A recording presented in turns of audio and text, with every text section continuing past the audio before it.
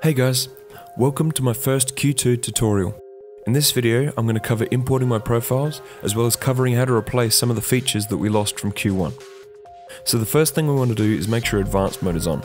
This is a program-wide feature that will disable simple profiles, but enables the use of advanced ones like mine. Unfortunately, this means that if you have simple profiles you want to use, you have to toggle this on and off when changing. To import a profile into CUE2, we need to go to the Profile drop-down menu. From here, select the two arrows that signify importing and exporting. This will change the bottom section to the importing and exporting window.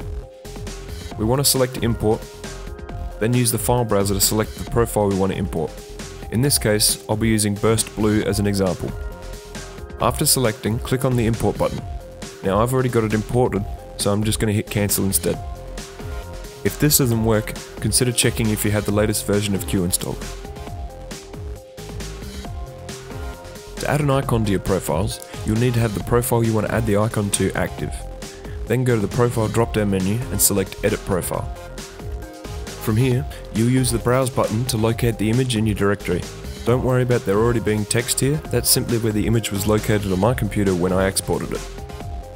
From there, hit save and you now have an icon that allows you to find your favourite profiles much easier.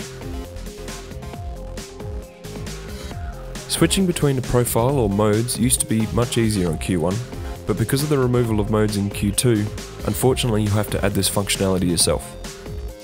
I'll cover cycling through a list of profiles first. I've set up a temporary macro on my M65 sniper key that repeatedly presses the left mouse button. You'll see why I'm using that in a second. First thing we want to do is go to one of the profiles in the group that we want to cycle through. I'll use the burst collection again as an example. Create a new action using the plus in the actions drop down menu. Select the key you want the action to be assigned to. Those that have followed my work for a while will know I usually use pause break for my profile scrolling, but it's completely up to you. If you have a K95, you could even set this to one of your macro keys. Now that we've set the key we want to use, let's change the action type using this drop down menu.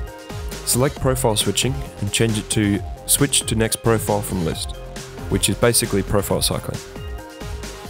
Now this is where the mouse macro is going to come in handy, as we have to clear everything out of the left list. This is the one that the action is going to select the next profile from.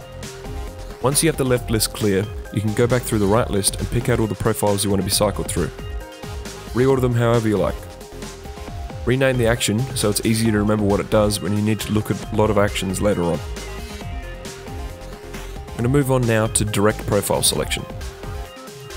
Once again, using Burst as an example, we're going to use direct profile selection to switch to the Burst color picker profile. Create a new action and set the key you want to use it on. Change the type to profile switching, but this time we'll be using the direct profile selection switching mode. Use the list of profiles to select the one you want to directly switch to. In this case, we want to have the color picker profile selected and press save. As a side note, checking the box underneath is only going to switch the profile while the key is held. To easily duplicate this action to the other profiles in the group, we can add this action to the library. We can then switch to the other profiles and use this button to apply the action to the selected one. After adding an action from the library, you'll still need to set the key the action uses, as this information is not saved. We can now use this process to add direct profile selection to some of my switch profiles, such as the Burst Color Picker or the Overwatch Hero Picker. There are multiple profiles that are combined during conversion, especially the ones that use the same effects with minor changes. To use these, you'll have to go into the profile and turn these off and on manually. Most that have toggles will only have one or two, such as a toggle for both first person shooter and MOBA highlights. Circuit Breaker is a great example of a profile with more than a few.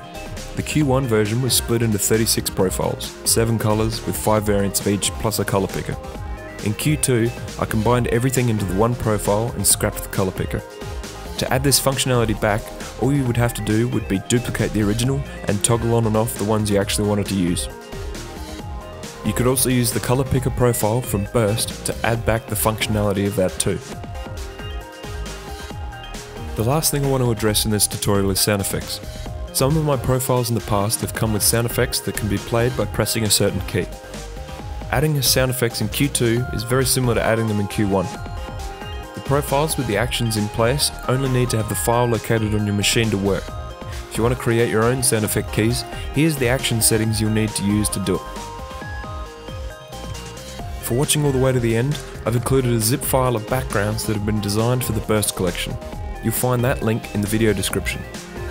Hopefully this tutorial has been enough to help get you started using my profiles in CUE2. If you liked it, please leave a like on the video and comment with any other questions you may have. Thanks for watching guys.